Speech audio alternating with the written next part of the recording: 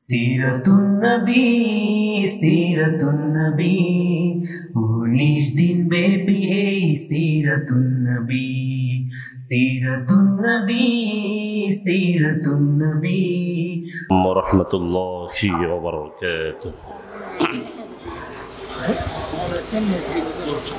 الحمد لله الحمد لله نحمده ونستعينه ونستغفره ونؤمن به ونتوكل عليه. ونعوذ بالله من شرور أنفسنا. ومن سيئات أعمالنا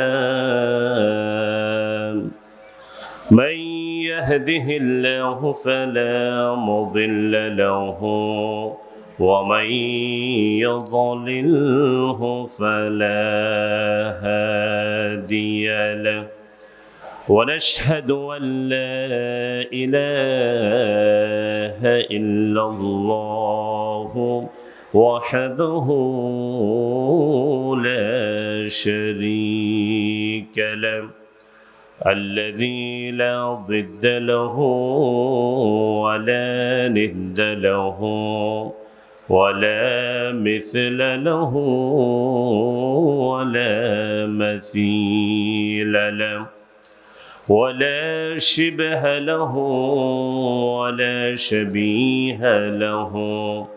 ولا وزير له ولا كفيل له ولا ولد له ولا والد له وهو الواحد الفرد الصمد لم يلد ولم يولد ولم يكن له كفوا أحد ونشهد أن سيدنا ونبينا وحبيبنا ومولانا محمدا عبد الله ورسوله الذي أرسله الله تعالى بالحق إلى الخلق بشيرا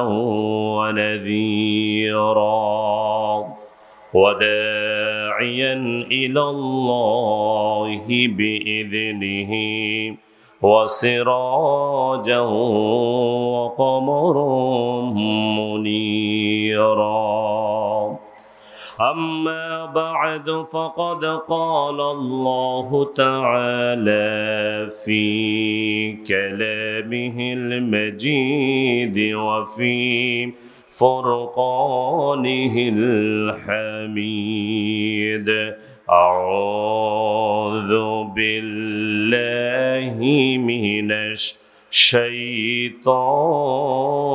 الرجيم. بسم الله الرحمن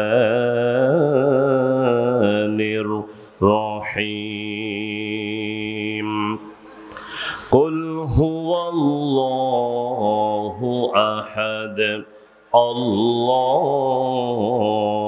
الصمد لم يلد ولم يولد ولم يكن له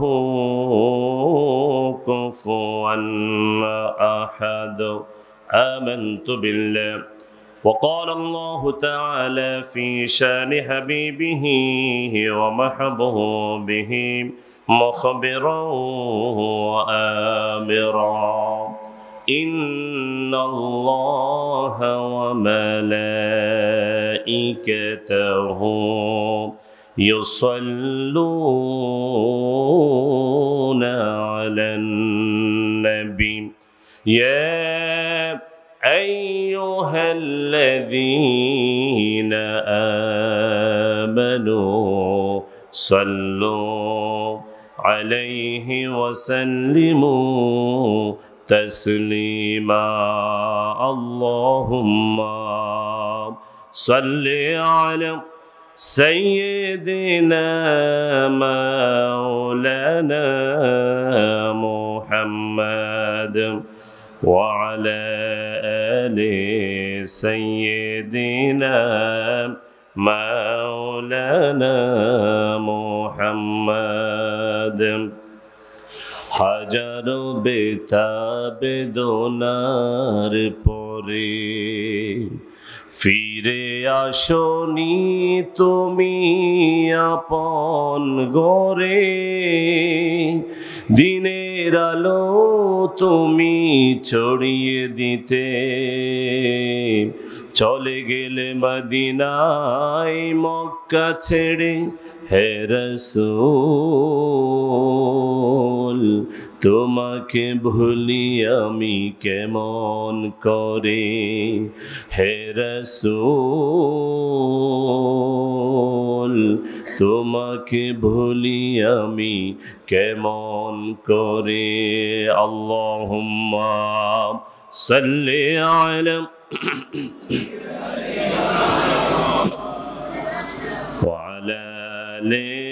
سيدنا بلغ العلا بكماله كشف الدجى بجماله حسنت جميع خصاله. صلوا عليه وآله. ये معراج تھی کہ تو لوح قلم تک پہنچا اور ہماری معراج ہے کہ ہم تیری قدم تک پہنچا۔ بلغ العلا بکمالہیم كشف الدجى بجماله حسنت جميع خصاله صلوا عليه وآله.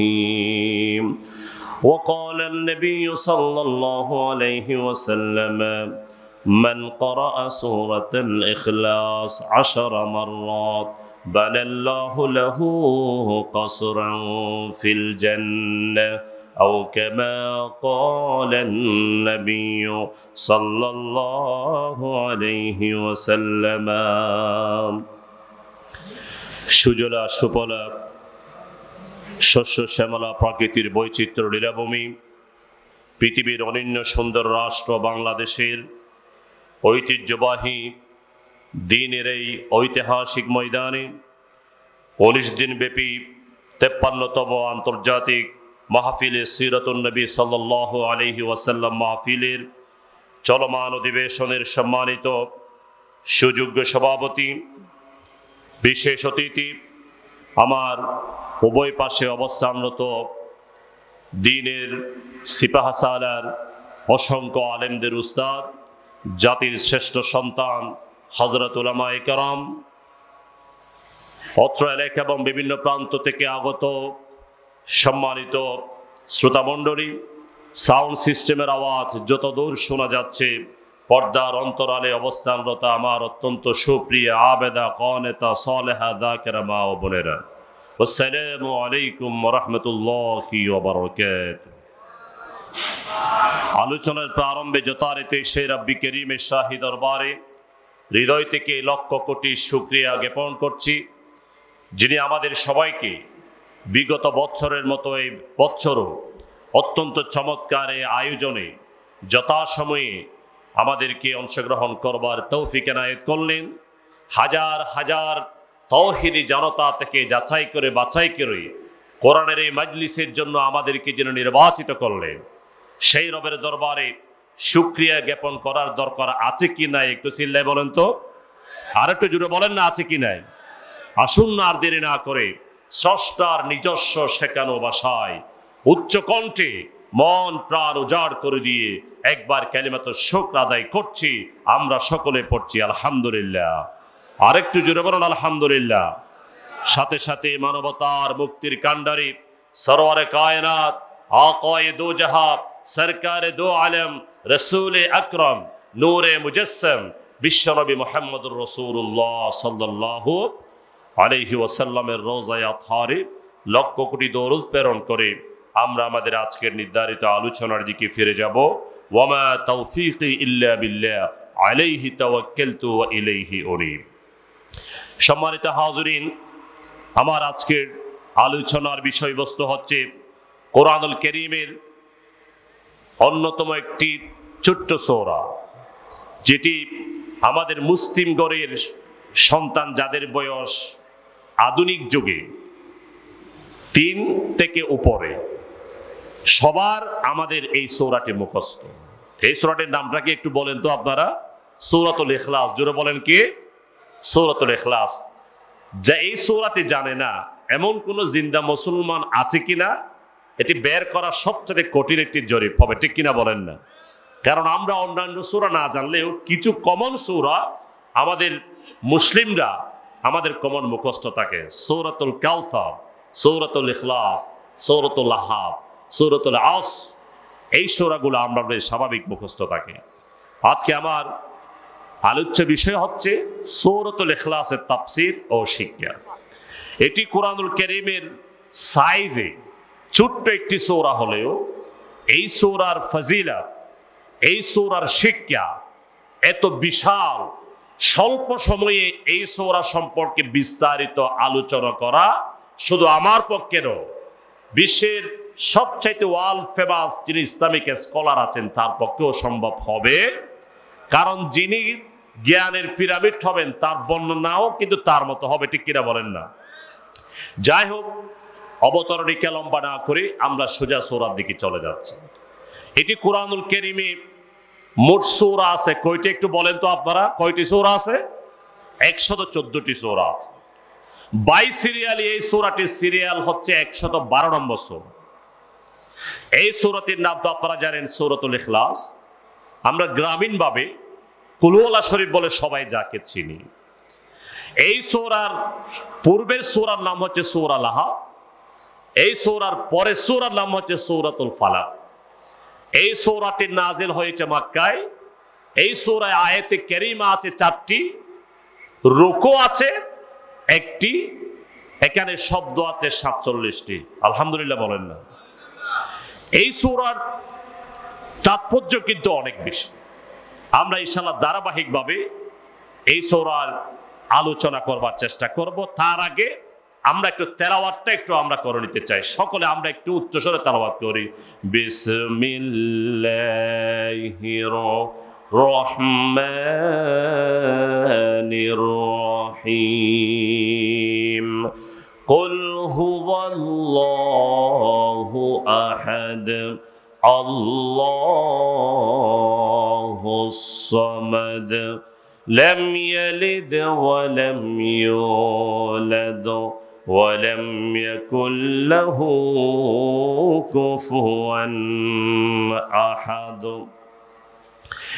এই সূরায় প্রথমত আল্লাহ রব্বুল আলমিন তার নিজের স্বল্প পরিসরে অসাধারণ পরিচয় প্রদান করেছেন সুবাহান এই সৌরার কমপক্ষে বিভিন্ন তাপসিরের কিতাবে বৃষ্টির মতো নাম এসেছে সেখান থেকে কয়েকটি যদি বলি এই সৌরার অন্যতম একটি নাম হচ্ছে সুরাতুল তাওহীদ এই সৌরার আরেকটি নাম হচ্ছে সুরতুল আসাস। মানে হচ্ছে বৃত্তি। কারণ তৌহিদকে যদি কেউ স্বীকৃতি প্রদান না করে, তার দিনের বৃত্তিটাই নষ্ট হয়ে যাবে রাউজবিল্লাহ এই সোরার আরেকটি নাম হচ্ছে সৌরতুল ইমা এই সোরার আরেকটি নাম হচ্ছে সৌরতুল তাফরি এই সোরার আরও একটি নাম আছে, নাম হচ্ছে সৌরতুল তাজরিব এইভাবে এই সোরার আরেকটি নাম হচ্ছে সৌরতুল নাজা সোহানুল্লাহ বলেন না। এই সোরার এমনি করে প্রায় বৃষ্টির মতো নাম আছে। বাইরে আমার, কোরআনুল করিমের সৌরাগুলোর নামকরণের যে প্রক্রিয়া, হয়তো এই সৌরার কোনো না কোনো আয়াতে যেই নামে এই সৌরাটির নামকরণ করা হয়েছে, তার একটি সরাসরি শব্দ সেখানে কিন্তু কোরআনুল কেরিমের দুটো সৌরা তার ব্যতিক্রম। একটি হচ্ছে সৌরাতুল ফাতাহা আরেকটি হচ্ছে সৌরতুল এখলাস এখানে কিন্তু ওই শব্দ আপনি পাবেন। না যেটিকে আমরা তাফসিরের বাসায় বলি তাসমিয়াতুল কুল বিল জোস।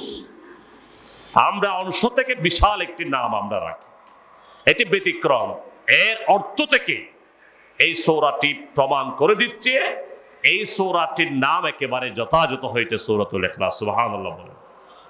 কারণ এখানে খুবই সিরিয়াসলি হলুসিয়তের কথা, তাওহীদের কথা, তাফরিদের কথা, নাজাতের কথা, কেউ যদি এটাকে হান্ড্রেড পার্সেন্ট বিলিভ করে, যাবতীয় উপকার বুগি সে হয়ে যাবে, সুবহানাল্লাহ বলেন। তারপরে আমরা আসি, কেন এই সুরাটির নামকরণ সুরাতুল ইখলাস নামে করা হয়েছে? এটাকে আমরা তাফসিরের ভাষায় ওয়া- ওয়াজা তাসবিয়া বলি। নামকরণের কারণ কি? হোয়াট দ্য রিজন বিহাইন্ড বলা হচ্ছে তাফসিরের কিতাবে এসেছে, এই সোরা যারা হান্ড্রেড পার্সেন্ট বিলিভ করবে বিশেষ ভাবে এই সৌরার প্রতি হান্ড্রেড পার্সেন্ট কোন ধরনের সন্দেহ, সঞ্চয়, উদ্বেগ, উৎকণ্ঠা ছাড়া আমল করবে, বিলিভ করবে, এই সৌরা তাকে জাহান্নামের আজাব থেকে মুক্তি দিয়ে দিবে সোহান আল্লাহ ভাইয়ের আমার নামকরণের দ্বিতীয় নম্বর কারণ হচ্ছে, এই সৌরাতে এত চমৎকার ভাবে আল্লাহ রব্বুল আলমিন তার পরিচয় প্রদান করেছেন এই সৌরাতুল ইখলাস নামকরণ করার অন্যতম কারণ হচ্ছে, কেউ যদি মন থেকে এই সৌরাকে নিষ্ঠার সাথে যদি ভালোবাসে, তাহলে ওই ব্যক্তি কেয়ামত পর্যন্ত শিরিক এবং আয় থেকে সে মুক্ত থাকবে। কারণ শিরিক মুক্ত ইমানের শিক্ষা সৌরতুল এখলাস আমাদেরকে দেয়, সুবহানাল্লাহ। তৃতীয় নম্বর এই ইখলাস শব্দের অন্যতম একটি অর্থ হচ্ছে অসংখ্য অর্থের ভিতর মুক্ত থাকা, নিষ্ঠা থাকা, একনিষ্ঠতা থাকা। তৃতীয় নম্বর হচ্ছে, এই সৌরা, শুধু এই সৌরাতে আল্লাহ রব্বুল আলমিনের তৌহিদের কথা এখানে বলা হয়েছে। এখানে কোন ধরনের লাইসা ফিহা আম ওলাইসা ফিহা, নেহি। এখানে কোনো আমর নাই, কোনো নাহি নাই। আদেশ, নিষেধ এইরকম কিছু নাই। এখানে শুধু সুস্পষ্টভাবে আমার আল্লাহ তার পরিচয় অসাধারণভাবে স্বল্প পরিসরে, স্বল্প ভাষায়, অত্যন্ত জামে বান এভাবে তার পরিচয় প্রদান করছে সোহান এরপরে আমরা আসি, এই সৌরার সারে নজরুল সম্পর্কে একটু আমরা জানবার চেষ্টা করব ইনশা আল্লাহ আল্লাহ নবীজির এক সাহাবি আন ওবাই ইবনে কাব রাদিয়াল্লাহু তাআলা থেকে বলে যে তিনি বললেন قال إن المشركين قالوا للنبي صلى الله عليه وسلم انصب لنا ربك يا محمد মুশরিকদের একটা দল আল্লাহর নবীজির কাছে আসলো এসে আল্লাহর হাবিবকে লক্ষ্য করে বলল আমাদের তো গোষ্ঠী আছে। পৃথিবীতে যত প্রজাতি আছে, আমরা যদি বানরের কথা বলি, বানরের গোষ্ঠীর একটি নসবনামা আছে। আবার সিংহের কথা যদি বলি, তাদের একটি বংশনামা আছে। আবার মানুষের কথা যদি বলি, আমি কোন গোষ্ঠীর মানুষ? আমারও বংশের একটি নসবনামা আছে, সব জায়গায় কিন্তু নসব আছে, গোষ্ঠীর একটি ধারাবাহিকতা আছে। মুশরিকরা এসে আমার বিশ্ব নবীকে বলল অগোয়া মোহাম্মদ তুমি তোমার, তুমি যে রবের প্রতি আমাদেরকে দাওয়াত দিচ্ছ, যেই তাওহীদের কথা তুমি আমাদের আমাদেরকে শেখাচ্ছ, দয়া করে তুমি একটু ওই রবের বংশনামায় একটু বলে দাও। আর সের মালিক আল্লাহ সাথে সাথে আর দেরি করলেন না, ফাআনজালাল্লাহু সূরাতুল ইখলাস। সাথে সাথে আরশের মালিক আমার আল্লাহ তাদের কথার ওই, তাদের ওই দাবির পরিপ্রেক্ষিতে আমার আল্লাহ সৌরাতুল এখলাস নাজিল করে দিলেন। সোহাবলা বলেন না। এটা হচ্ছে নাম্বার ওয়ান কারণ। দ্বিতীয় নম্বর আল্লাহ নবীজি আরেকজন সাহাবে জাবির বিন আবদুল্লাহ রদি আল্লাহ তালন থেকে বর্ণিত। তিনি বললেন জা আইলেন ফকল উনসুব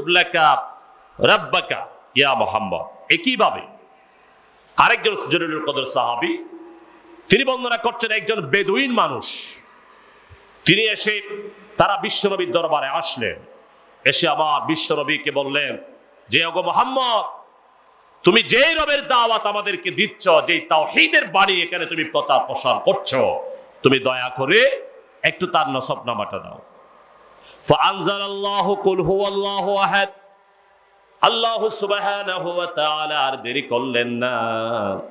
তাদের প্রশ্নের জবাবে আমার আল্লাহ আরশ থেকে সূরাতুল ইখলাস নাজিল করে দিলেন। সুবহানাল্লাহ বলেন না।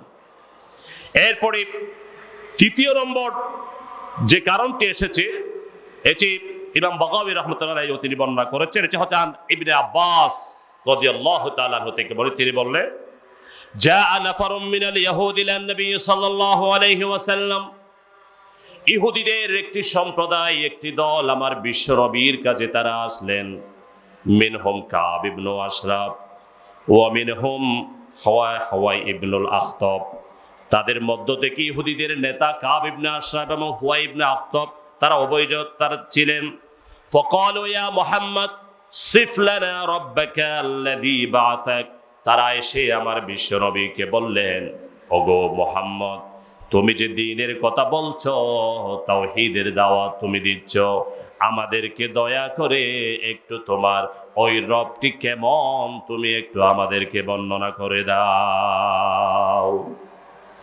এখন ইহুদিরা শুধু এতটুকু বলে শান্ত হয় নাই। কারণ এর আগে যে দুটি আমি বর্ণনা দিয়েছি এখানে, একদল ছিল মুশরিক আরেক দল ছিল কাফের। এখন তার পর্যায়ে এসেছে ইহুদিরা। ইহুদিরা হচ্ছে তারা সব সময় তারা বেজালের মানুষ। সব সময় গন্ডগোল তারা বাঁধিয়ে দিতে চায়। কারণ সুজা পথে তারা যেতে চায় না। এটা হচ্ছে রব্বুল আলমিনের কোরআন কর্তৃক ঘোষিত বিষয়। এটি সমাধানকৃত বিষয়।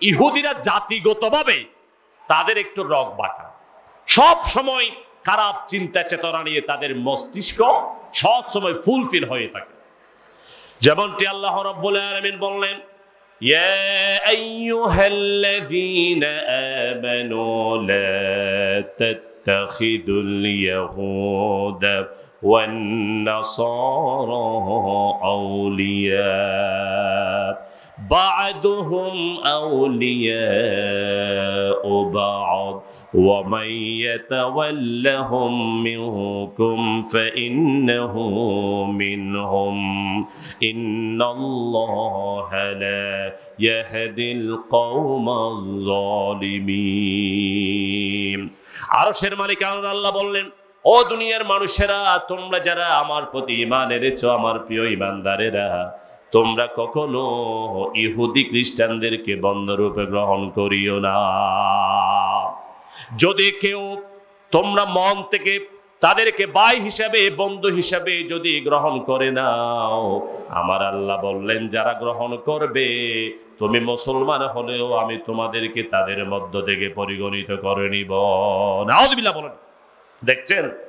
আজকে শুধু বাংলাদেশে নয় সারা বিশ্বের সাতান্নটি মুসলিম রাষ্ট্র ইহুদি খ্রিস্টানদের দালালিতে লিপ্ত আছে, ঠিক চিল্লাই বলে আপনি বিশ্বের সাতান্নটি মুসলিম রাষ্ট্র আমাদের, দুইশো কোটি জনসংখ্যা আমাদের, আন্তর্জাতিক সংস্থা ওআইসি আমাদের, এরপরেও ইহুদি খ্রিস্টানদের দালালি করছে মুসলিম বিশ্বের রাষ্ট্রপ্রধানরা, ঠিক কিনা বলে আজকে যদি তারা আল্লাহর কালামে মজিদের এই কোরআনের আয়াতি কারিমার উপর যদি আমল করত, মুসলমান চেসনিয়া, বসনিয়া, ফিলিস্তিন, আরাকান, কাশ্মীরে, আজকে কোথাও আমার মা বোনরা, মুসলিম মা বোনরা নির্যাতিত, নিষ্পেষিত হতো না, ঠিক কিনা বলে আজকে সবাই মাঝে মধ্যে এই ধার্মিকতা তাদের জন্য ফ্যাশন হয়ে দাঁড়িয়েছে। মাঝে মধ্যে একটু জুমার নামাজ, মাঝে মধ্যে একটু ধর্মীয় কথাবার্তা। তার বাদ বাকি তাদের সমস্ত কৃষ্টি কালচার ইহুদিরা খ্রিস্টানদের খ্রিস্টানদের কালচারের নিয়ে হয়ে গিয়েছে, ঠিক কিনা বলেন না? সেজন্য আমরা রহমত পাচ্ছি না, আমরা বরকত পাচ্ছি না। মুসলিমরা আমরা বীরের জাতি, সিরেহের জাতি, অর্ধ পৃথিবী শাসন করেছিলাম আজকে আমরা নিজেকে আমরা নিয়ন্ত্রণ করতে পারছি না। নিজের স্বাধীনতা আরেকজন এসে বুলন্টিত করে ফেলছে, আমরা নিজের স্বাধীনতাটুকুনো রক্ষা করতে পারছি না। এ হচ্ছে আমাদের জন্য দোষা এই ইহুদিরা এসে আমার বিশ্বনবীকে বললেন, আপনি যেই রবের কথা বলছেন, ওই রবের গুণাবলী সম্পর্কে আমাদেরকে বলেন। এবার তারা আরও বাড়িয়ে বললেন যে, তুমি যেই রবের কথা বলছো, মোহাম্মদ, আহো আমির ফিদ্দতিন আওমিন জাহাবিন আওমির হাসবত তারা বললেন, তুমি যেই রবের পরিচয় দিচ্ছ, ওই রব কি, ওই রব কি স্বর্ণের তৈরি, নাকি রূপের তৈরি, নাকি ল্যাকড়ির তৈরি? নাউদুবিল্লাহ বলেন না। কারণ জাতিগতভাবে তাদের বেয়াদবি, তাদের মেমোরিতে এটা অলরেডি অটো ইনস্টল করা আছে না নাউজুবিল্লাহ বলেন।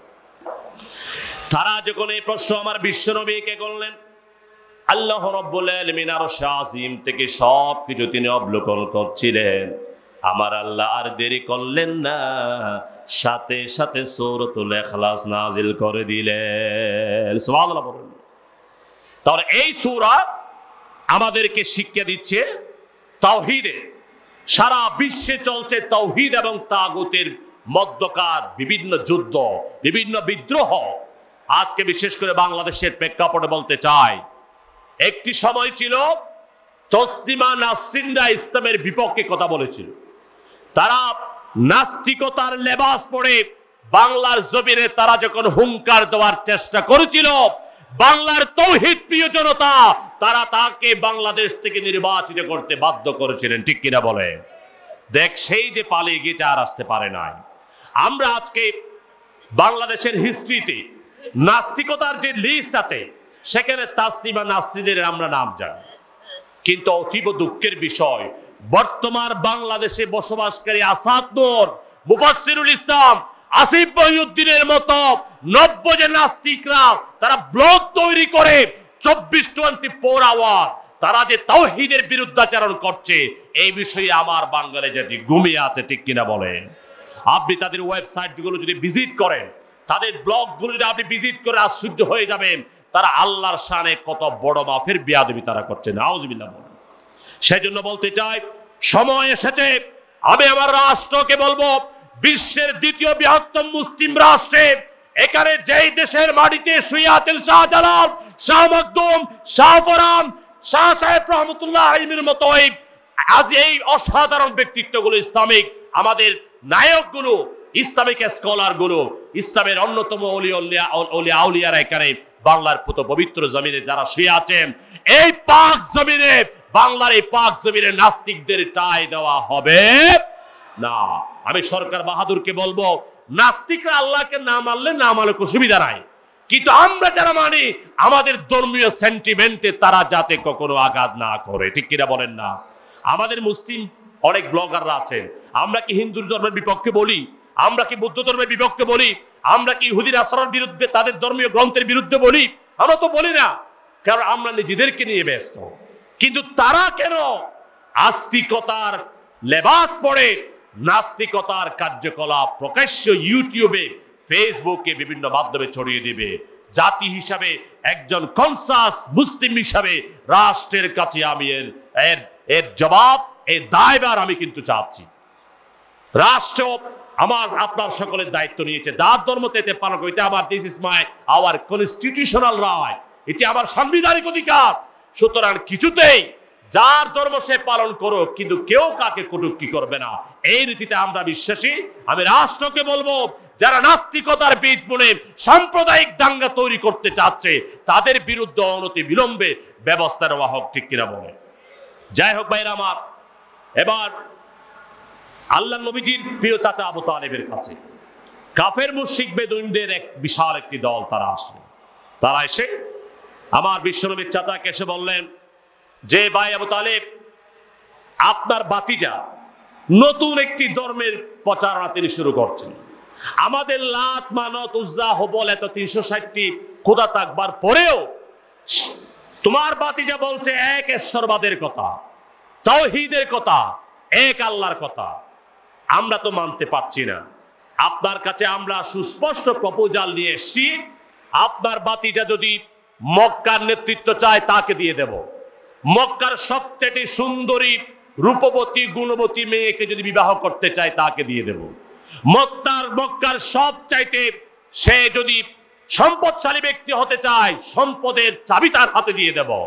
বিনিময় একটি শর্ত, সে যেন তহিদের দাওয়াত দেওয়া ছেড়ে দেয় তখন আল্লাহ নবীজির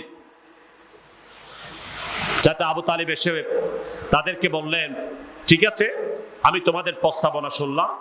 আমার বাতে যে মোহাম্মদ আসুক, আমি তাকে প্রস্তাবনাগুলো অবস্থাপন করে দেখব, সে কি উত্তর দেয় আগামীকাল ফজরের সময় তোমরা এসে তোমাদেরকে জানিয়ে আল্লাহ নবীজি যখন আসলেন, চাচা আবু তালিব ওই কাফের মসজিদদের যে প্রস্তাব ছিল, মক্কার সব চাইতে ধনী দন্নাট্য ব্যক্তি বানিয়ে দেওয়া হবে সব চাইতে সুন্দরী মহিলার সাথে বিয়ে দিয়ে দেওয়া হবে সব চাইতে সম্পদশালী করে দেওয়া হবে, এই প্রস্তাব যখন আমার বিশ্বনবীর চাচা যখন বিশ্বনবীকে বললেন, আল্লাহর হাবিব বললেন লও আন্না কুরাইশান ওয়াজাতি শামসা আলা ইয়ামিনি ওয়াল কমর আলা ইয়াসারি। আল্লাহর হাবিব বললেন, ওগো আল, ওগো আমার প্রিয় চাচা, তারা যেগুলি বলেছে সেগুলি তো খুবই পসিবল বিষয়, খুবই সম্ভবপর কতগুলো বিষয়, কিন্তু আমি বলতে চাই ওই আকাশের সূর্যটা যদি তারা আমার ডান হাতে এনে দেয়, আবার ওই আকাশের পূর্ণিমার চাঁদটা যদি আমার বাম হাতে রেখে দেয়, আমি তবু কিন্তু আল্লাহর এই দিনের দাওয়াত ছাড়ব না। তারা যখন আমার বিশ্বনবীকে এই প্রস্তাবনা তারা যখন দিল তখন আমার বিশ্বনবী আর দেরি দেরি করলেন না আমার আল্লাহ। আরস থেকে সব কিছু তিনি দেখছেন। আর দেরি করলেন না আমার আল্লাহ। সাথে সাথে এই সূরা তিনি নাজিল করে দিলেন। বলুন। আল বিদায় এবার হায়াতে এই বিষয়টি এসেছে। বাইরে আমার, এবার আরেক দল এসে আমার বিশ্বনবীকে এসে বললেন যে আপনার রবের পরিচয় বলুন। তখন, এখন বিশ্বনবী কিছুক্ষণ একটু চুপিসারে বসে থাকলেন। ইন দ্য মেন টাইম জিবির আমিন অবতরণ করলেন। জিবির আমিন এসে আল্লাহ নবীজিকে বললেন, কুল, ওগো রসুল মোহাম্মদ, আপনি একটু পড়েন না। এই কথা বারবার যখন জিবির আমিন বিশ্বনবীকে লক্ষ্য করে বললেন, তখন আল্লাহর হাবিব তখন বললেন, আমি কি পড়ব? মা, আকলু, কি পড়তে বলছেন আপনি আমাকে? তখন জিবির আমিন বললেন কলিয়া মোহাম্মদ, লিমান আকুল ইয়া আখি জিবরাইল? তখন জিবির আমিন এসে বললেন, আমি যা বলি সেগুলো আপনি পড়েন। কাদের জন্য পড়বেন? সাইলিন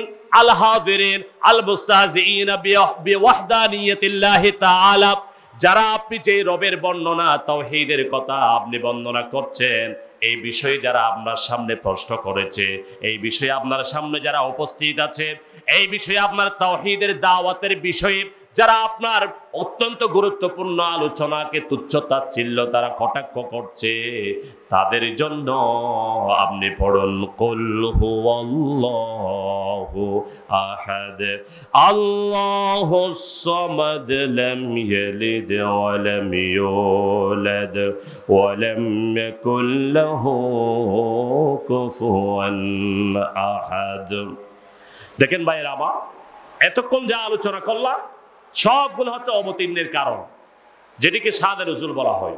আরও অনেক রিজন আছে। সময় খুবই শর্ট সেদিকে যাচ্ছি না। এবার আমরা একটু মূল টপিকস আমরা একটু ফজিলতের দিকে যাই। ছোট্ট একটি সৌরা। এই সৌরা এমন কি আছে? আমরা একটু জানবার চেষ্টা করব ইনশা আল্লাহ নাম্বার ওয়ান ফজিলতে সাহি বহারিতে এসেছে। আল্লাহ নবীজির প্রিয়তমা সহধর্মিনে আয়েশা রদি আল্লাহ তালাহ থেকে বর্ণিত। আল্লাহ নবীজি বর্ণনা করলেন হযরত আয়েশা সিদ্দিকা রাদিয়াল্লাহু তাআলা আনহা তিনি বর্ণনা করেন আন্না রাজুলান বাআসা আলা সারিয়া আল্লাহর হাবিব একবার একজন ব্যক্তিকে কিছু মানুষকে স্বর্ণ নিয়ে একটি ছোট্ট যুদ্ধে তিনি পাঠালেন فكان يقرأ لأصحابه في صلاتهم فيختم بقل هو الله أحد যাকে নেতা করে পাঠালেন ওই নেতা যুদ্ধের ময়দানে যখন নামাজের সময় হতো, সমস্ত নামাজে সৌরা ফাতেহার পরে সৌরা এখলাস পড়ে তিনি নামাজ পড়াইতেন। সব সময় তিনি কি করতেন? নামাজের সময় হলে সৌরা ফাতেহা পড়বার পরে, সৌরা ফাতেহার পরে যে সৌরা বিলেত হয়, ওই সৌরা তিনি সবসময় সৌরা কুলো আল্লাহ পরে পড়তেন। এখন তার পেছনে যারা মুক্তাদিরা মুসল্লিরা ছিলেন, তারা তাকে প্রশ্ন করলেন যে আপনি কেন এরকম করেন? আপনি কি আর কোনো সোরা জানেন না নাকি? তো এই প্রশ্ন করতে বলেছে যে আমি জানি, আমাকে যাই বলো না কেন, আমি এই সৌরাটার আর কোনো সৌরা আল ফাতেহা শরীফের সাথে মেলাতে বলা আবার আল্লাহ তিনি তাদের কথা রাখলেন না। ফালাম্মা রাজাউ, যাকারু যালিকা লিন-নবী সাল্লাল্লাহু আলাইহি ওয়াসাল্লাম। ওই যুদ্ধের ময়দান থেকে তারা যখন প্রত্যাবর্তিত হলো, আমার বিশ্বনবীর কাছে যখন আসলো বিশ্বনবীর দরবারে তারা এবার অভিযোগ করে দিল, ওগো আল্লাহর হাবিব, এমন একজন সেনাপতি আপনি নির্বাচন করে দিয়েছিলেন। আমরা ইমান ইমাম পেয়েছি, যিনি কুলহল্লা ছাড়া আর কোন সৌরা দিয়ে নামাজ পড়াতে চান না। আল্লাহর হাবিব এবার বললেন, ফকলা হোক তোমরা যাও, আমার ওই প্রিয় সাহাবিকে তোমরা জিজ্ঞাসা করো, কারণটা কি? লিআই শাইইন ইয়াসনাউ যালিক এমন কি ঘটনা ঘটেছে? কেন সে এমনটা করেছে? যেহেতু আমার সাহাবি, সে অসংখ্য সৌরা তার মুখস্থ আছে, সেটি আমি নবী হিসেবে আমার জানা আছে। এরপরেও কেন সে এমনটা করল? ফাসা আলোহ তারা বিশ তারা সাহাবিরা, বিশ্ব নবীকে তারা ওই সাহাবিকে জিজ্ঞাসা করলেন, কেন তুমি এমন করেছ? তখন তিনি বললেন, ফকল আলী আন্নাহা সিফাতুর রহমান। আল্লাহ নবীজি সাহাবি বললেন, ওগো আল্লাহর হাবিব, আমি অনেক সৌরা, আমি জানি আমার মুখস্থ আছে, কিন্তু এই সৌরাটি যখন তেলাওয়াত করি, আমার কলিজে ঠান্ডা হয়ে যায়, কারণ এই সৌরার ভিতর আমার আল্লাহর গুণাবলী বর্ণনা করা হয়েছে।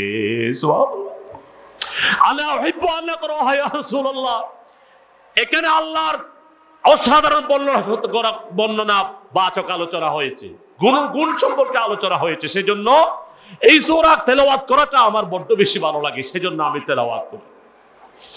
তখন আল্লাহর হাবিব বললেন, আখবিরুহু ফাইন্নাল্লাহা ইউহিব্বুহু। আল্লাহর হাবিব বললেন, ওগো সাহাবীরা, তোমরা তার এই সংবাদ জানিয়ে দাও তার এই মহাব্বতের কারণে, ভালোবাসার কারণে আরশের মালিক আমার আল্লাহ তারও ভালোবাসে। বলেন। দেখছেন সূরা কুলু আল্লাহ ছোট্ট সূরা।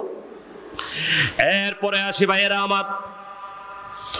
আল্লাহ নবীজির একজন জরুরুল কদর সাহাবী, ইবনে মাসউদ রাদিয়াল্লাহু তাআলা আনহু, তিনি বর্ণনা করছেন, মান কানা ইউহিব্বুল কুরআন ফাহুয়া ইউহিব্বুল্লাহ। যে ব্যক্তি আল্লাহর কোরআনকে ভালোবাসবে আমার আল্লাহ তাকে সবচাইতে বেশি বলুন। ভাইয়ের আমার, একবার আমার নবীজি ইসলামের যে প্রথম মসজিদ, ওই মসজিদের নাম হচ্ছে মসজিদে কোবাব মসজিদে কোবার একজন আনসারি সাহাবিকে আল্লাহর হাবিব তাকে ইমাম বানিয়ে দিলেন। ওই ইমাম দেখা গেল তিনিও সোরা ফাতেহার পরে সব সময় সোরা কুলহু আল্লাহ নিয়ে, ইখলাস নিয়ে তিনি নামাজ পড়া মুসল্লির এসে আমার বিশ্বনবীকে অভিযোগ দরবার বিশ্বনবীর আদালতে তারা মামলা দায়ের করে দিল। বলে যে হাবিব আল্লাহ রসুল আল্লাহ এমন ইমাম আমাদেরকে আপনি প্রদান করেছেন যিনি সব সময় কুলহু আল্লাহ শরীফ দিয়ে নামাজ পড়া তখন বাইরে আমার তাকে জিজ্ঞাসা করা হলো, কেন তুমি এমনটা করো? ফকলা ইন্নি ইউহিব্বুহা সেও বলল, ওগো আল্লাহর হাবিব, আমি এই সোরাটাকে বড্ড বেশি পছন্দ করি, মন থেকে আমি ভালোবাসি। তখন আল্লাহর হাবিব বললেন, হব্বুকা ইয়াহা আদ আল্লাহর হাবিব বললেন, তোমার এই সোরার প্রতি ভালোবাসার গভীরতা যদি এমন হয় তাহলে এই সোরা তোমাকে কেয়ামতের ময়দানে জান্নাতে নিয়ে যাবে। দেখেন অথচ আমরা, আমাদের কাছে এখন সবচেয়ে মজলুম সৌরার নাম হচ্ছে সৌরাতুল এখলাস আমরা এই সৌরাটি আজকে ছোট্ট সৌরা বলে তেমন আজকে আমরা তেলাওয়াত করি না। সুতরাং আমাদের বিশেষ করে ফজরের ফরজ নামাজের আগের যে দু রাকাত সুন্না আছে, প্রথম রাকাতে সৌরাতুল কাফিরও দ্বিতীয় রাকাতে সৌরা কুলহল্লা শরীফ এটা আপনারা পড়বেন। তাহলে মোটামুটি অন্তত হক হলে আদায় হবে। ভাইয়ের আমার, অসা, আরও অসংখ্য ফজিলত আছে। আল্লাহর হাবিব একবার সাহাবা একরামদেরকে লক্ষ্য করে বললেন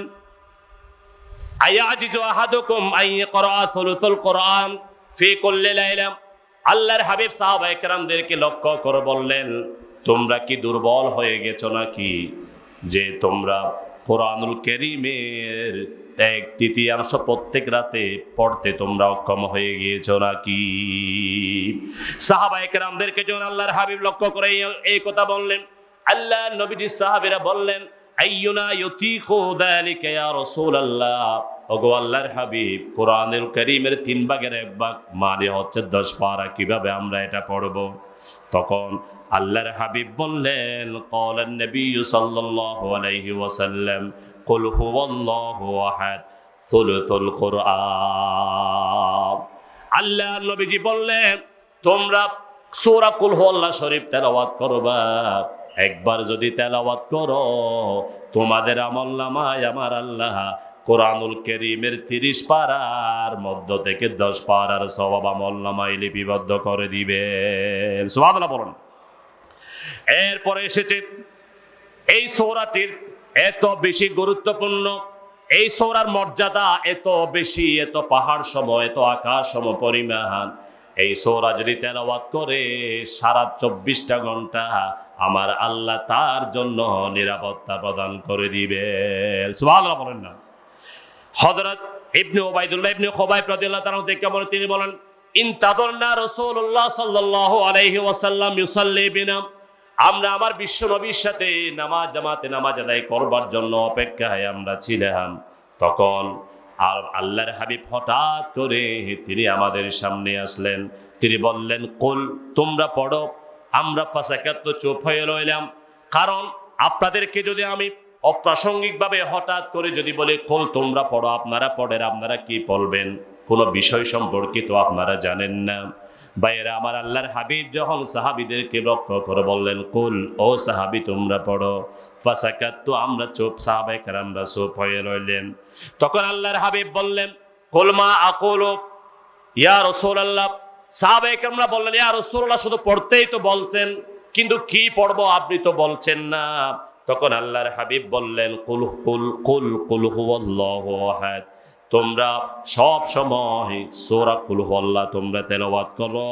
ওয়াল মুআউযিদাতাইন সালাসা তাকফি কাফি কুল্লি ইয়াওম আল্লাহর হাবিব বললেন, তিনবার করে প্রতিদিন তোমরা ফজরের নামাজের পড়ে মাগরিবের নামাজের পরে সৌরতুল এখলাস তিনবার, সৌরতুল ফলক তিনবার সৌরতুল নাস তিনবার যখন পড়বেন, আল্লাহর হাবিব বললেন তাফ ফি কাফি কুল্লিয়াও এই তিনটি সৌরা যদি তিনবার তিনবার নয়বার, তাহলে নয় দুগুণে আঠারো বার ফজরের নামাজের পরে, মাগরিবের ফরজ নামাজের পরে যদি আপনারা যদি তেলাওয়াত করেন, আল্লাহর হাবিব বললেন, তোমার জন্য এই তেলাওয়াত যথেষ্ট হয়ে যাবে। বলেন। দেখছেন কি অবস্থা? কি মর্তবা, কি ফজিলত আমার আল্লাহ রব্বুল আলমিন এই সৌরার ভিতরে তিনি দিয়েছেন। বাইরে আমার শুধু তাই নয়, আল্লাহর হাবিব বললেন, যে ব্যক্তি ঘুমানোর সময় ডান কাত হয়ে নাম আলায়া বিনি, ডান কাত হয়ে শুবে। এবং একশত বার সৌরাতুল কুলহল্লা শরীফ তেলাওয়াত করবে।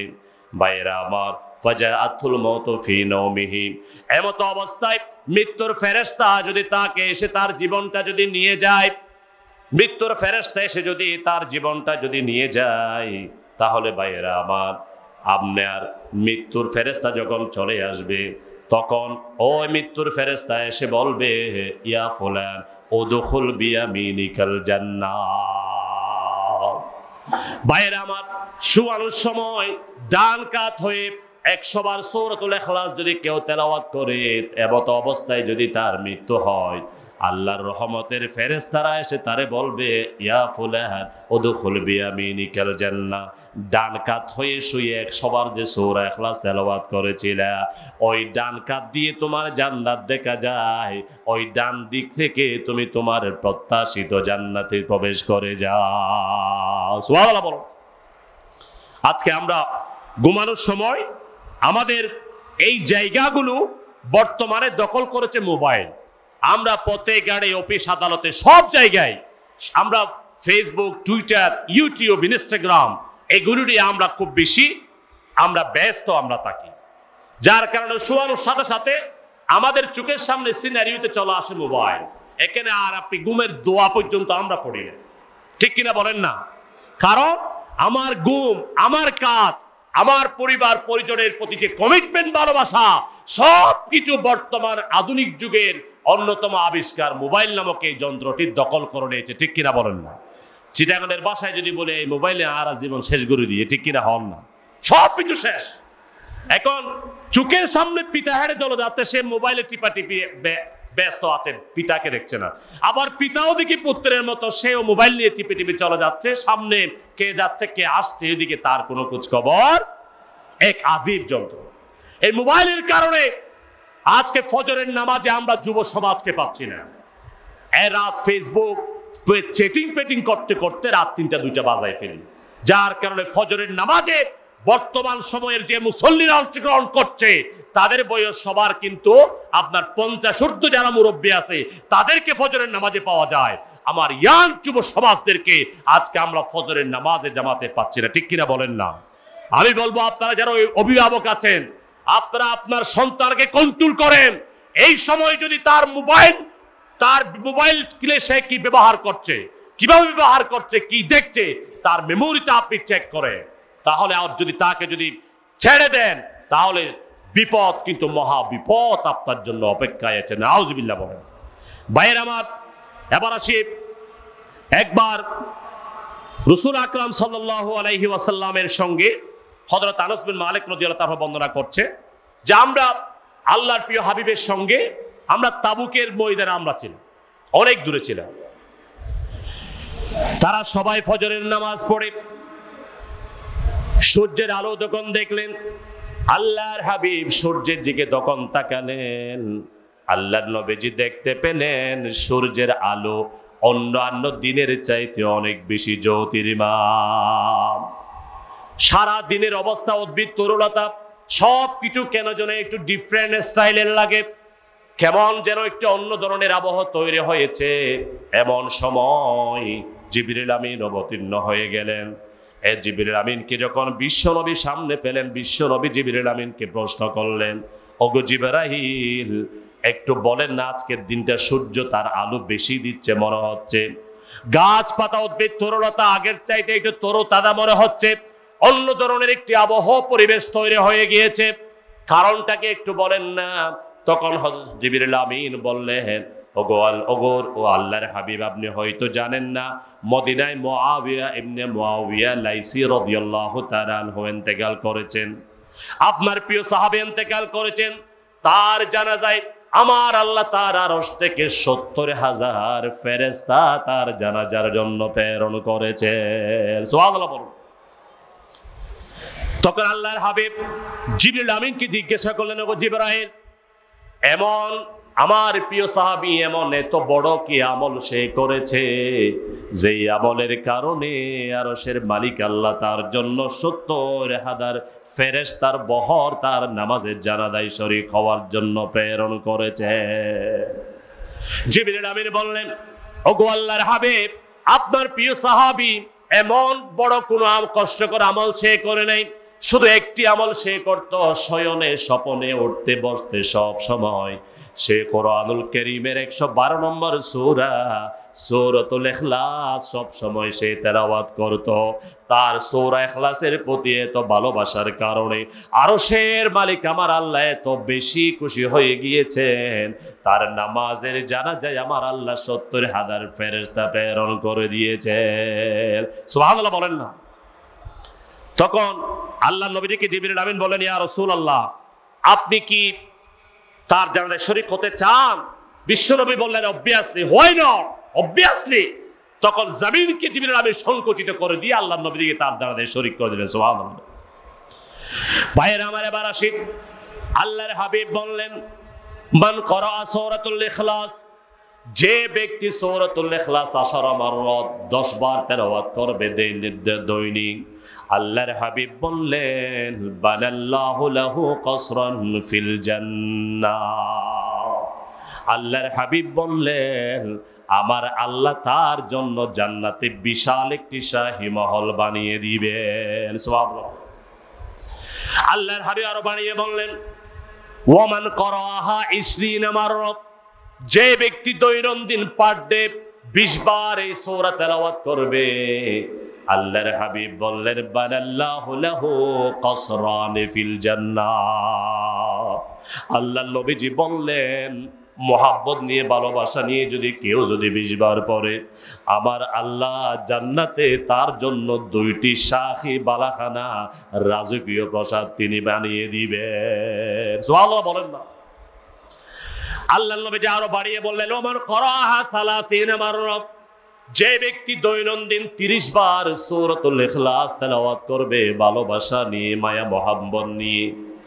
আল্লাহর হাবিব বললেন, বানাল্লাহু লাহু সালাসাতা কুসুরিন ফিল জান্নাহ আমার আল্লাহ জান্নাতে তার জন্য তিনটি রাজকীয় প্রসাদ তিনি বিনির্মাণ করে দিবেন। সুবহানাল্লাহ বলেন না। তাহলে কত পুরস্কারের কথা, ছোট্ট আমল। আজকে থেকে আপনাদের, আমাদেরকে শপথ করতে হবে। আর যাই হোক, এমন কোন দিন, এমন কোন রাত অতিবাহিত হতে দেব না। যেই দিনে যে রাতে আমরা সোর এখলাস তেলাওয়াত না করব, ঠিক কিনা বলেন? পারবেন তো ইনশাআল্লাহ? জুড়ে বলেন না, পারবেন কিনা? সেজন্য এই সোরার এত বেশি ফজিলত, আর গড়গুলোর বর্ণনা তো অনেক বেশি। তবকাতহা হমসুমিয়া, বলেছে, একটি গড় দেব এই গড়টি হবে পাঁচশো তালা, সুবহানাল্লাহ বল। কয় তালা? পাঁচশো তলা। এবং প্রতিটি তলায় আলফা প্রত্যেক তলায় সত্তর হাজার ফ্ল্যাট থাকবে। সুবহানাল্লাহ বলবেন না? এবং বর্ণনা এসেছে, প্রত্যেক রুমের প্রত্যেক তলায় সত্তরটা করে রুম থাকবে প্রত্যেক ফ্ল্যাটে। আবার ওই প্রত্যেকটি রুমের ভিতর সত্তরটি দরজা থাকবে। সত্তরটি দরজার পেছনে সত্তরটি পর্দা থাকবে। আবার সত্তরটি পর্দার পেছনে এত সুন্দর হোর গিলমান দিয়ে আমার আল্লাহ আপনার রুমটাকে তো চমৎকার করে রাখবেন। ওই হোরদেরকে আমার আল্লাহ সত্তরটি রেশমিক পোশাক পরিধান করিয়ে দিবে তারা কি হবে? বাইরে আমার, যখন অসাধারণ পরিবেশ তৈরি হবে, এত সুন্দর অবস্থা হবে যে হোর গিলমানদেরকে আমার আল্লাহ এত বেশি সৌন্দর্য প্রদান করবেন, তাদের সৌন্দর্য দেখে আপনার কনিষ্ঠ আঙ্গুল দিয়ে যদি আঙ্গুল পরিমাণ সৌন্দর্য দুনিয়াতে যদি প্রেরণ করা হয়, কিতাবে এসেছে এই দুনিয়ার তামাম উদ্ভিদ যেগুলি নাবাতাত আছে, ওই সৌন্দর্যের কাছে সব কিছু জলে পড়ে সারকার হয়ে জামাদাত হয়ে যাবে। শুধু সর্ব আঙ্গুলের সর্বকনিষ্ঠ আঙ্গুল দিয়ে ওই তাদের সৌন্দর্য থেকে একটু সৌন্দর্য যদি দুনিয়াতে প্রেরণ করা হয়, সূর্য তার আলো দেওয়া বন্ধ করে দিবে, চাঁদ তার কিরণ দেওয়া বন্ধ করে দিবে। আল্লাহ আকবর বলেন না। তাহলে দেখেন কি অবস্থা। আজকে আমাদের বিশেষ করে এই ফজিলতগুলো থেকে আমরা বঞ্চিত হতে, ছোট্ট আমল, উঠতে, বসতে, চলতে, ফিরতে, এই আমলের সাথে আমাদের কত পরিচয়। কিন্তু আমরা আমল করি না, কারণ যা আমল করি ফেসবুক চব্বিশটা ঘণ্টা আমরা সোশ্যাল মিডিয়ার কল্যাণে। হয়তো দোকানে গেলে টেলিভিশন, টেলিভিশনের রিমোট আমাদের হাতে থাকে। হয়তো টেলিভিশনের রিমোট নয়তো মোবাইল ছাড়া আমাদের আর হাতে কিছু থাকে। তিনশো পঁয়ষট্টি দিন আল্লাহর দেওয়া নিয়ামত বুক করে আপনি আপনার জিন্দিগি অতিবাহিত করেন। একটি বারের জন্য আপনি কিন্তু যিনি আপনাকে হায়াত দিলেন, নিঃশ্বাস দিলেন, তার অসংখ্য নিয়ামত দিয়ে ভরপুর করে রাখলেন আপনি একদিনও তার কথা স্মরণ করো না। ঠিক কিনা বলো না? নাউদিবিল্লাহ সেই জন্য শয়নে সপরে সব সময় যেখানে যাও, লাইন কুতিল কুতিলটাও হররিকটা তোমাকে যদি জ্বালিয়ে পুড়িয়ে বর্ষ করে দেওয়া হয়, পাশির কাছতেও যদি নিয়ে যাওয়া হয়, আল্লাহর তৌহিদের সাথে কখনো আপোষ করা যাবে? আল্লাহ এই কথা আমাদের মানতে। কারণ এই সূরা শুরু হয়েছে, কুল আল্লাহ আহাদ দিয়ে। বলুন, তিনি ওই মহান সত্তা যিনি এক শেষ হয়েছে ওলাম বেকুল্লাহ কুফুল আহাত আবার আহাত দিয়ে এতে এমন একটি কঠিন শব্দ, এমন একটি একক, যার কোনো বাঙ্গাসোরা তাগির, তাবদিল, এখানে কোনো ধরনের পরিবর্তন পরিবর্তন করা যায়। এত বিশাল একটি শব্দ। আলহামদুলিমান কদ্দরা খৈরা ওয়া খবালা, ওয়া শুকরু লিমান সাওয়ারা হুসনা ওয়া জামালা। ফরদুল সামাদুন আল সিফাতিল খলকি বারিয়ুন রব্বুন আজালিয়ুল খলকল খলকা জাওয়ালা লা ক্বাবলা ওয়ালা বাদা ওয়ালা ওয়াক্তা জামানা লা মানে আলা হাজিবা লিল্লাহি তাআলা। লা জিদ্দা ওয়ালা নিদ্দা ওয়ালা হাদ্দা লিমাওলা। আল আনা কামা কানা ওয়া লাম ইয়ালকা আল্লাহু আকবার। এমন এক মহান সত্তার ইবাদত আমরা করি। এমন এক মহান সত্তার দিন প্রচার আমরা করি, যার সাথে পৃথিবীর কারও শরীক হওয়ার সুযোগ নাই। বাইরে আমার মুফাসসির আমরা লিখেছেন ওয়াহিদ শব্দটি, তাকে যদি আহাত শব্দের সমকক্ষ ধরি, তাহলেও কিন্তু হবে না।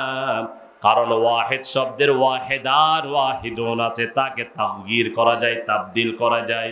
কিন্তু আহাদ এমন একটি অসাধারণ শব্দ, যাকে কখনো কিন্তু আপনি ভাঙতে পারবেন না। সুবহানাল্লাহ বলুন। ইমাম গজ্জালি রহমতুল্লাহ কাছে একবার এক ব্যক্তি আসতেন, বলে যে আপনার যে খুদা এক তার দলিল কি বলেন তো?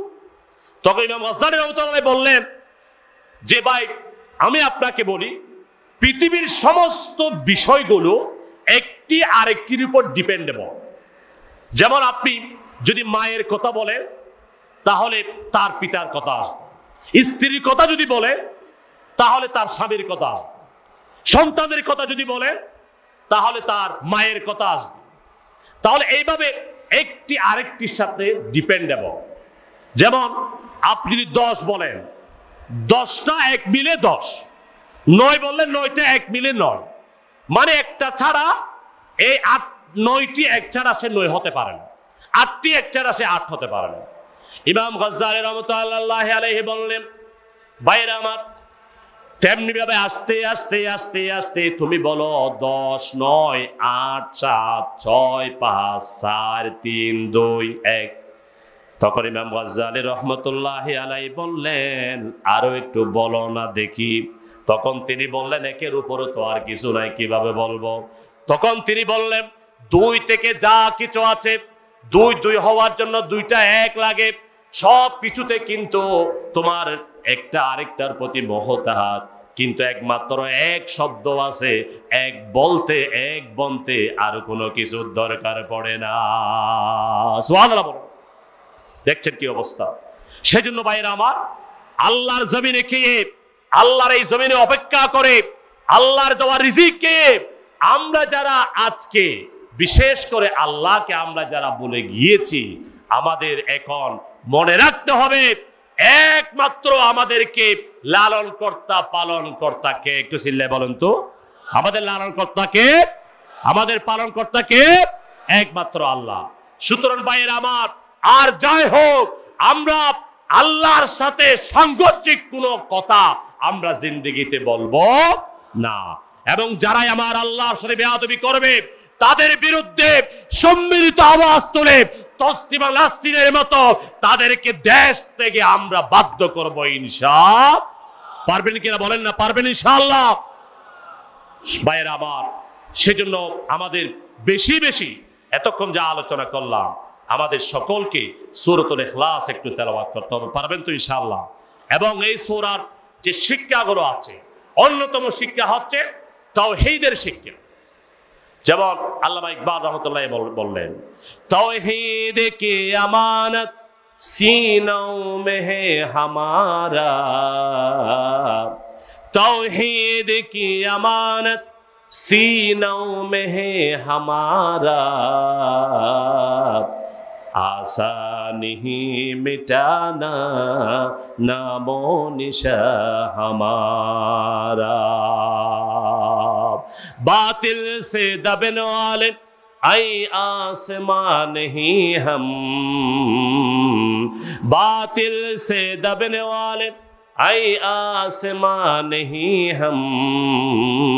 سو بار कर चुका हो तो इम्तिहा हमारा আল্লাহ আকবার আমরা হাজার বার পড়তে রাজি আছি কালিমার এই দিনের জান্ডা ছাড়তে রাজি সেজন্য আল্লাহ কবিরা কত সুন্দর করে বলেছেন তুমি রহমান তুমি মেহেরবান অন্ধ গাহে না শুধু তোমারি গান তুমি রহমান তুমি মেহেরবান। জনম জনম যদি গাহি তোমারি মহিমা গাওয়া শেষ হবে নাহি। জনম জনম যদি গাহি তোমারি মহিমা গাওয়া শেষ হবে নাহি। ঠাই দিও প্রিয় প্রভু ঠাই দিও প্রিয় প্রভু ও গো দয়াবান। তুমি রহমান, তুমি মেহেরবান। অন্ধ গাহে না শুধু তোমারি গুণ ঠিক কিনা বলেন না? আল্লাহ তিনি এমন রহমান এমন রহিম। তিনশো পঁয়ষট্টি দিন তার দেওয়ার রিজিককে আমি ব্যবসা করছি, আমি আমি আমি প্রতিষ্ঠানে চাকরি করছি, আমি রাজনীতি করছি, আমি সমাজনীতি করছি, আমি আজকে বড় লিডার হয়ে গিয়েছি। তার দেওয়া রিজিক এত বড় হলাম, এত এমপি মিনিস্টার হলাম, সচিব হলাম, মন্ত্রী হলাম ডিসি হলাম, উপজেলা নির্বাহী অফিসার হলাম তারপরে একটি বারের জন্য আমার আল্লাহকে তিনশো পঁয়ষট্টি দিনে একবারও ডাকি না, ঠিক কিনা বলেন না? বলেন। সেজন্য সয়নে সপনে আল্লাহর জিকির ফিকির যদি আপনার এই কল্প নামক হৃদয় নামক মেমোরিতে না থাকে কে বলেছে আপনাকে মুসলমান, আপনি একজন বড় মুনাফিক, ঠিক কিনা বলেন? আর আল্লাহ আল্লাহ রব্বুল আলামিন বললেন, ইন্নাল মুনাফিকিনা ফি দারকিল আসফালি মিনান আজকে আমরা মুসলিমরা সংখ্যায় অনেক বেশি, কিন্তু আমরা মার খাচ্ছি। কেন? আমরা মুনাফেক হয়ে গেছি, ঠিক কিনা বলেন না? আল্লাহ নবীজির সাহাবিদেরকে দিয়ে সামনে বসলেন। আল্লাহ নবীজি বললেন, ওগো আমার সাহাবিরা, শোনো, এমন একটি সময় আসবে, এমন একটি কাল আসবে, যেই সময় সমস্ত বাতিল শক্তি ঐক্যবদ্ধ হয়ে চতুর্মুখী তোমাদেরকে ঘিরে পরিবেষ্টন করে তোমাদেরকে চতুর্মুখী লাঞ্ছনা, অপদস্থতা, অপমানের সাগরে তোমাদেরকে নিমজ্জিত করে দেবে। নাউদুবিল্লাহ বলে আল্লাহ নবীজি সাহাবীরা বললেন রাসূলুল্লাহ, ইয়া হাবিবাল্লাহ, সেই দিনকে আমরা সংখ্যায় কম থাকব নাকি? আল্লাহর হাবিব বললেন, সংখ্যায় কম থাকবে না, বরং সেদিন বল আন্তুম কেফির তোমরা সংখ্যায় বেশি থাকবা।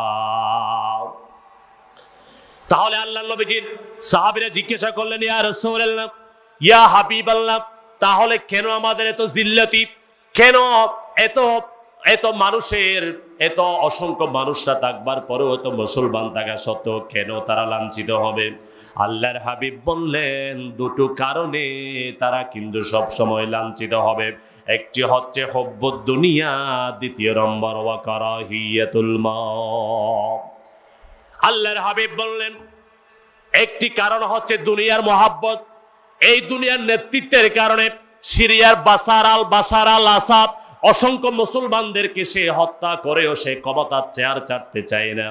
আবার ওই মিশরের আব্দুল ফত্তা শিশি নির্বাচিত সরকারকে অবৈধভাবে সে বিতার সে ক্ষমতাত মসনদ থেকে নামিয়ে দিয়ে স্বৈর শাসক হিসেবে নিজেকে প্রতিষ্ঠা করেছে। ঠিক কিনা বলে না? এগুলি হচ্ছে দুনিয়া। আমরা আল্লাহ নবীজি দেড় হাজার বছর আগের দেওয়া সেই ভবিষ্যৎবাণীর আজকে বাস্তবায়ন আমরা দেখতে পাচ্ছি। ঠিক কিনা বলেন না? বাসার আশা আল আসাদ বলেন, আপনি আব্দুল ফত্তা শিশি বলেন, সাতান্নটি মুসলিম কান্ট্রির অধিকাংশ মুসলিম রাষ্ট্র নায়করা আজকে দুনিয়ার মুহে পড়ে, তার আপন বাইকে হত্যা করছে।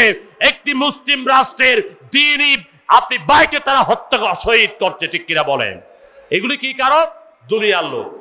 আজকে আমরা আমাদের পলিটিক্সেও যদি বলি, বাই নেতা বড় ভাই ছোট ভাই যখন একটু জনপ্রিয়তা অর্জন করতে- করতেছে, তখন সে নিজের বাইকে শেষ করে দিচ্ছে, ঠিক কিনা বলেন না? আমাদের বাংলাদেশের প্রেক্ষাপট হিস্ট্রি সাক্ষী, এখানে বাই তার আপন বাইকে হত্যা করেছে ক্ষমতার জন্য। পিতা তার পুত্রকে হত্যা করেছে ক্ষমতার জন্য। এই ক্ষমতার জন্য, সম্পদের জন্য, এগুলির মানে হচ্ছে দুনিয়ার জন্য। কারণ আল মাল ওয়াল বানুনা জিনাতুল হায়াতি দুনিয়া। এগুলি হচ্ছে এই তো দুনিয়া। তাহলে দুনিয়ার মহব্বত যেদিন থেকে আমাকে আপনাকে মুসলিম প্রধান রাষ্ট্রনায়কদের মেমোরিতে ডাউনলোড হয়ে গিয়েছে সেট হয়ে গিয়েছে, সেদিন থেকে কাশ্মীর, চেস্তিয়া, বস্তিয়া, ফিলিস্তিন আরাকারের মুসলমানেরা মায়ের খাওয়া আরম্ভ হয়ে গিয়েছে। ঠিক কিনা বলেন না? তৃতীয় নম্বর ওয়াকারা হিয়াতুল মত আমরা মৃত্যুকে বড্ড অপছন্দ করি। বয়স হয়ে গিয়েছে একশো বিশ বছর। তারপরও এই বৃদ্ধ দাদা বলে আমাকে সিঙ্গাপুরের মাউন্ট এলিজাবেথ হাসপাতালে নিয়ে যাও, আমি আরও বাঁচতে চাই। বুড়া মানুষ, সে বলতেও পারে না, চলতেও পারে না।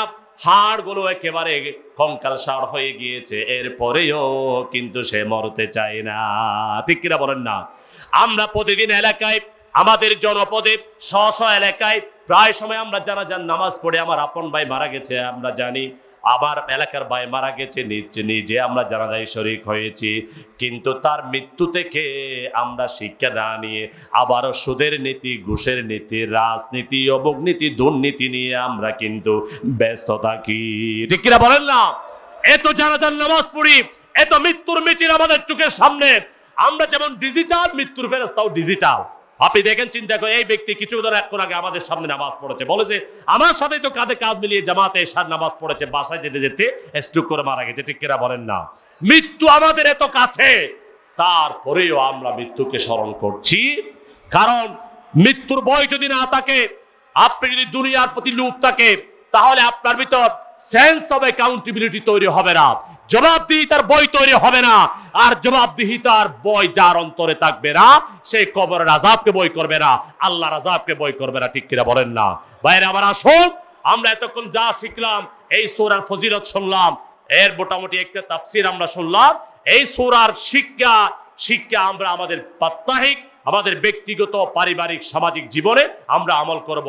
অন্যতম একটি শিক্ষা হচ্ছে শয়নে স্বপনে উঠতে, বসতে, চলতে, ফিরতে, সব সময় আমার আল্লাহকে হাজির নাজির জেনে আমাদের জিন্দিগি অতিবাহিত করতে করতে হবে। পারবেন তো ইনশাআল্লাহ? কারা কারা হাত উঁচু করে দেখান? আল্লাহ আমাদের সকলকে তোমাকে হাজির নাজির জেনে আমাদের ভবিষ্যৎ জিন্দিগি অতিবাহিত পরিচালনা করবার তৌফিক রায়ত করে দাও।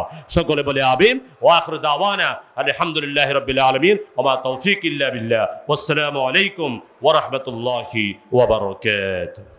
সিরাতুন্নবী সিরাতুন্নবী, উনিশ দিন ব্যাপী এই সিরাতুন্নবী সিরাতুন্নবী সিরাতুন্নবী, উনিশ দিন ব্যাপী এই সিরাতুন্নবী, শাহিন শাহে চুনতি প্রবর্তিত উনিশ দিন ব্যাপী এই সিরাতুন্নবী তফসিরে কুরআন, হাদিসে পাক আর ইলমে দিন। রসুলের সুন্না নিয়ে সিরাতুন নবী সিরাতুন নবী সিরাতুন নবী। উনিশ দিন ব্যাপী এই সিরাতুন নবী সিরাতুন নবী সিরাতুন নবী উনিশ দিন ব্যাপী এই সিরাতুন নবী